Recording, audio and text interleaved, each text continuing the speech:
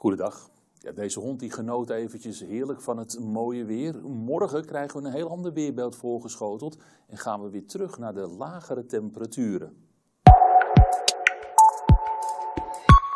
Ja, vandaag gingen dan de terrassen weer voor het eerst open. Vanmiddag was dat het geval. Ook in Geldermalsen zochten mensen een stoeltje op. Het was ook prima weer. De zon die scheen, hoge bewolking en aangename temperaturen.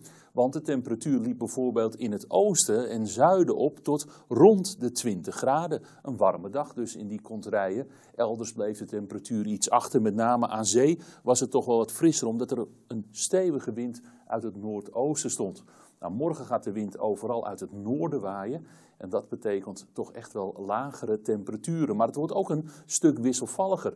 Er komt namelijk een lage drukgebied naderbij. En dat lage drukgebied dat trekt ten oosten van Nederland langs. En daaromheen is de lucht onstabiel. En we zien het al, we zien weer blauw boven Nederland. En dat betekent neerslag. Vanavond kan er al een enkele bui vallen. Maar met name vannacht en morgen overdag is de buienkans vrij groot. En dat zal grote verschillen opleveren in het land. Op sommige plaatsen kan het echt even goed doorplensen.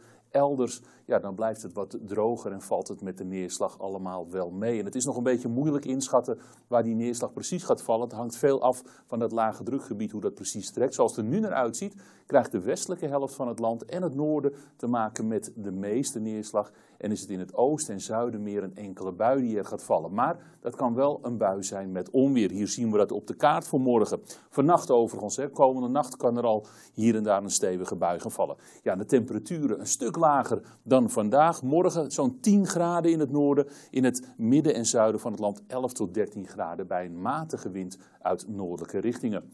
En de dagen erna blijven we met die lage temperaturen zitten. Het wordt zo rond de 12 graden in het midden van het land. In het zuiden kan het een graadje warmer worden. En daarbij is het weerbeeld toch ook wel aan de wisselvallige kant. Zaterdag, dat lijkt wel een droge dag te worden. En begin volgende week, ja, dan verandert er nog niet zoveel. En als we dan ook nog even naar de pluim kijken, dan zien we dat hoge temperaturen er eigenlijk nog steeds niet in zitten. Temperaturen rond de 15 graden in de loop van volgende week. En dan heel misschien geleidelijk aan iets warmer. Maar veel stelt het nog steeds niet voor. Echte twintigers, ik zie het nog niet gebeuren.